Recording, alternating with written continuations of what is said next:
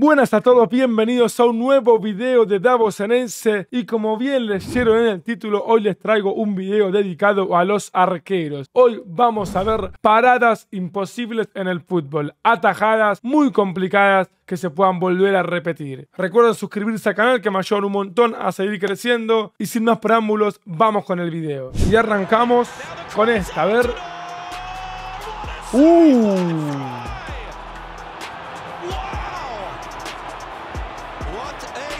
No llego a distinguir quién es el arquero, pero es una muy buena tajada.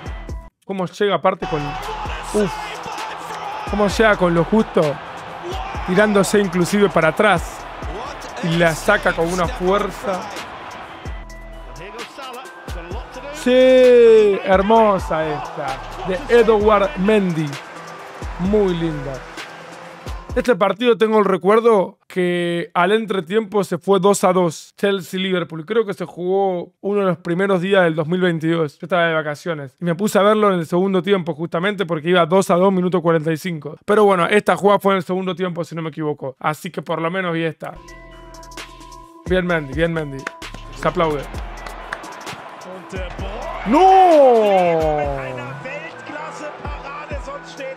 La potencia que tiene Kevin De Bruyne para pegarle de afuera del área y de primera con esa dirección es algo que solamente tiene Kevin De Bruyne para mí. Y la tajada es aún mejor. Porque llega con lo justo, la toca, pega en el palo y sale. Es decir, que llegó demasiado exigido. ¡No! Esta es terrible. Keylor Navas un poquito infravalorado Keylor está. Aparte de este partido lo termina ganando justamente el Real Madrid con ese gol de Cristiano al minuto 85. Por lo tanto la tajada tiene aún más valor. Leo Messi que casi mete un golazo. Ese clásico fue el último que se jugó antes de que arranque la pandemia. Recuerdo que gana el Madrid 2 a 0 con gol de Vinicius y Mariano, dos goles idénticos. Y creo que con esa victoria el Madrid pasa al Barcelona en la tabla general y después termina coronándose de esa liga. Y la atajada de Ter Stegen. La verdad es que justo de este arquero no me sorprende. Sinceramente. Uh, qué linda vista. Es una grandísima tajada porque si bien no fue muy direccionada la pelota, es muy poca la distancia que hay entre el arquero y el delantero. Y con la potencia que tiene esa pelota, luego el cabezazo del delantero, tenés que tener demasiado reflejo para sacarla. A ver esta cámara. ¿Ves? Tenés que poner la mano justa. Un segundo tenés para reaccionar, menos inclusive. Atajado con esta. ¡Oh! Esta no, no, no. Esta es completamente mítica. Cada vez que la ves es más increíble. ¡Por favor! El gran David Seaman. Encima de este partido se jugó en Old Trafford. Fue semifinal de FA Cup 2003 entre el Arsenal y el Sheffield United. Y después el Arsenal le gana la final al Southampton también 1 0. Y en este entonces David Seaman, un arquero histórico en el fútbol inglés, tenía 39 años. Fue su último año del Arsenal. Y se despidió con este título y con esta tajada. Que es increíble. No, no, es increíble esa tajada arquero muy icónico del Arsenal. Neymar, Courtois. ¿Cómo lo aguantó ese día Bélgica, eh? Aquellos cuartos de final del Mundial de Rusia 2018 que Bélgica comienza ganando 2 a 0 en el primer tiempo, descuenta Brasil y lo piloteó, lo piloteó, casi se lo empata. Clave Courtois en ese partido. Esta tajada la habíamos visto hace poco y sigo creyendo que es imposible. Amigo, no tiene sentido esta tajada. O sea, cuando la pelota está en esta posición, ¿cómo se te ocurre pensar que si la tocas con un solo dedo alcanza para que vuelva? Porque generalmente vas a sacarla como podés y lo terminás metiendo en contra, porque mirá dónde está la pelota. No, no es increíble, aparte la termina agarrando con la otra después. Verdaderamente esta tajada de Jan Sommer, luego del remate de Kimmich, es de las mejores que vi en mi vida directamente. Aparte estaba tapadísimo cuando dispara Kimmich, fíjense. ¿Cómo no entró eso, por favor? Atajando para el Borussia Mönchengladbach. Grandísimo arquero Sommer, eh. muy bueno. A mí personalmente, mira esa cámara, es increíble. ¡No! ¡Qué buena tajada esta, por favor! La Roma. Alison, mira. Alison Becker en la Roma, en la UEFA Champions League. Qué atajadón, hermano. Gran equipo esa Roma, ¿eh? Nada, Emanuel Neuer. No hay una explicación lógica para hablar de Neuer. Buena tajada y no la recordaba, ¿eh? No recordaba esta tajada de Jordan Pickford. Creo que ese día todo Sudamérica gritó el gol de Jerry Mina. O por lo menos yo en esa Inglaterra-Colombia era más colombiano que el pibe Valderrama. Y cuando lo empata Mina el último minuto me puse muy feliz. Y luego lamentablemente para Colombia quedó eliminado por penales. Pero no recordaba esta atajada, sí recordaba ver este partido. increíble, mira dónde la saca. No. ¡No! Por favor. El penal muy bueno, pero el rebote define mal igual el delantero. Mira, de todas maneras le queda atrás. No era tan fácil para definir. Pero la reacción de Chesney luego de atajar el penal es una cosa de locos, eh. Para aplaudir. Qué buena. Qué buena. No buena, no buena, no buena. Supongo que esto es un Millonarios versus Atlético Nacional. Es increíble. Triple tajada. No, aparte todas de primera. Una cosa de loco. Y Aguaspas.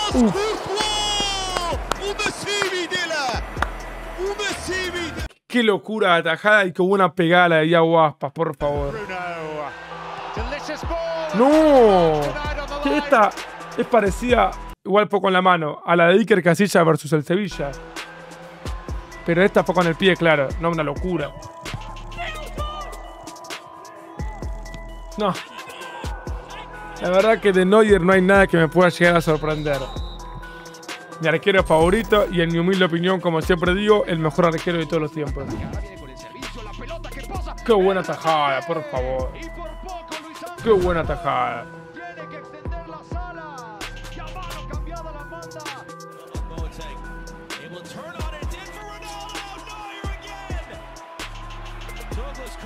No podés atajar eso, Manuel. No podés atajar eso, no, y el hermano. Aparte es Cristiano Ronaldo, con lo fuerte que patea. Como pones firme la mano y la termina sacando. Qué genio. ¡No! Oliver Giroud, un hombre que se caracteriza justamente por hacer este tipo de goles. Centro de Kane, Eriksen. ¡Qué buena tajada, por favor! ¡Qué buena tajada! No, la segunda es mortal, porque está tapado encima. No, esa es mortal, la segunda es la mejor. Mira, Bernd Leno. Muy buena. Oh. Ni hace falta que la vea para darme cuenta cuál es. De las más históricas, en mi opinión. ¿eh? Ya pasaron ocho años, pero cada vez que la veo me parece algo inigualable. Mira, mira, mira, mira. Por favor. Por favor. Ter Stegen. Qué buen arquero. No, no puede ser, no puede sacar eso. Lo que es no darse por vencido nunca, ¿eh? No, está buenísimo. La de Gregory Coupet, no, es increíble, amigo ídolo del Lyon y se la ataja nada más y nada menos que a Rivaldo, el mejor jugador del mundo en ese entonces o por lo menos uno de los mejores. El primer recurso buenísimo. Quizá muchos se preguntarán por qué Coupet en esta jugada decide darle con la cabeza. Básicamente un defensor de su equipo se la pasó y como saben cuando un defensor se la pasa al arquero no la puede agarrar con la mano. Evidentemente el pase fue muy malo y terminó sacándola con la cabeza. Pega el travesaño, vuelve y cuando ves esta imagen decís, es gol sí o sí. Pero lo rápido que se levanta y se tira directamente. Y lo que termina atajando. Para mí de las atajadas más increíbles de la historia del fútbol directamente. No. Se mandó un cagadón, pero por suerte para Manuel se pudo remediar. Palo. ¡Uh! ¿Este es Sommer de vuelta o no? ¡Qué animal, amigo! ¡Qué animal! La segunda, aparte, lo hace como medio basado, ¿no? Tipo, como que está arrodillado y pone la mano ahí y la termina sacando. No, boludo, qué animal Sommer. Me acuerdo de esta. Creo que es Kirali el arquero. Este día, Argentina pierde la final de la Copa América Centenario contra Chile. Es octavo de Eurocopa 2016. Bélgica contra Hungría. Ganó Bélgica 4 a 0, si no me equivoco. Y me acuerdo que Argentina ese día perdió con Chile la final. Va, debe ser ese partido.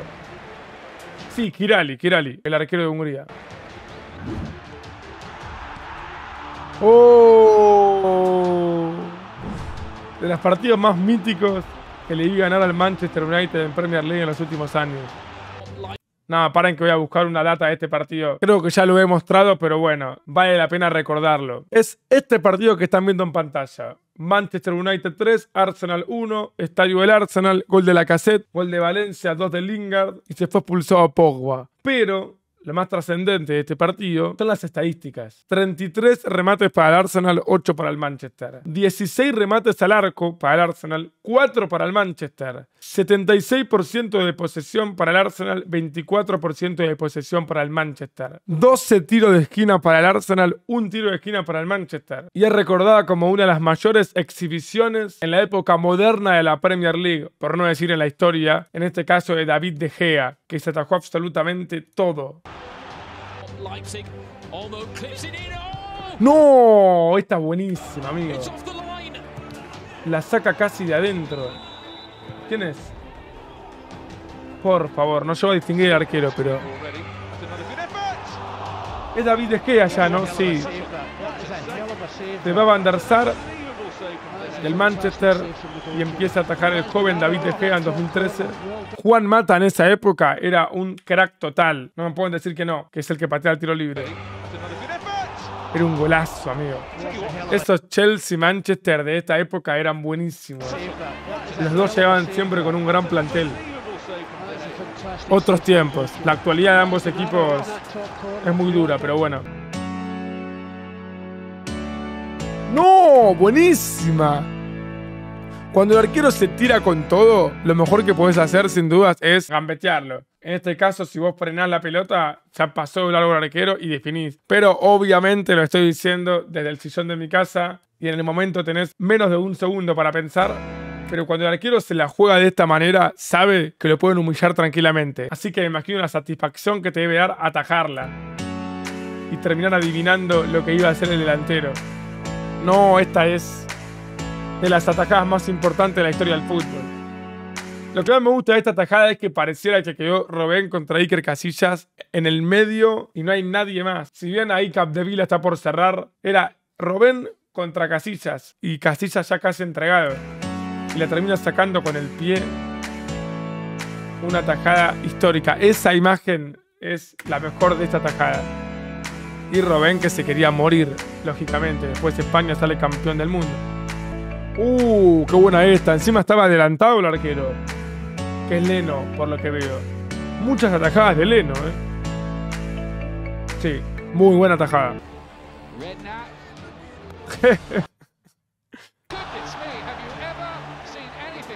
Yo entiendo que tranquilamente la puede agarrar con las dos manos y que el arquero debe ser el jugador que menos cosas haga de este estilo debido a que un error te puede costar demasiado caro. Pero es un poco de show también.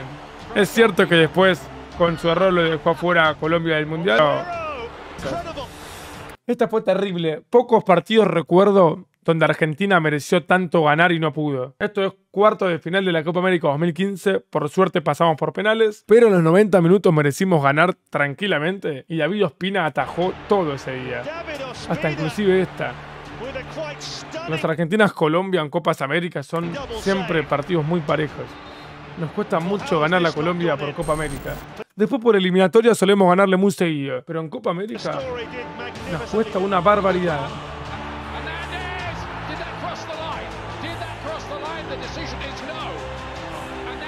¿No entró esa pelota?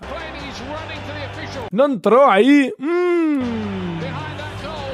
Se lamenta Chicharito. Y creo que el que ataja es Lloris, ¿no? Sí, Lloris. Atajadón, eh. Atajadón total. Aparte, lo mejor de la atajada es que no da rebote. Porque ahí la sacás como podés. Y Lloris la agarró con las dos manos. Uh, uh, uh. No podés atajar eso, amigo. Rice. Mira vos, Rice. Uf. Donnarumma, ¿no? Sí. No, terrible. Terrible esta también, eh. Lo cerca que define, hermano. Qué buena tajada. Y con esa termina el video. Qué lindo ver atajadas de arqueros, ¿no? Porque al fin y al cabo, como siempre digo, el jugador más caro va a seguir siendo el delantero o hasta el mediocampista. El ídolo de la gente va a seguir siendo el que hace los goles. Pero un buen arquero es importantísimo en cualquier equipo que aspire a lograr algo importante. Por lo tanto, hay que darle también el mérito que se merecen. Si les gustó el video, dejen su me gusta, comenten para ustedes cuál es la mejor atajada y nos reencontraremos en un próximo video. Cuídense todos.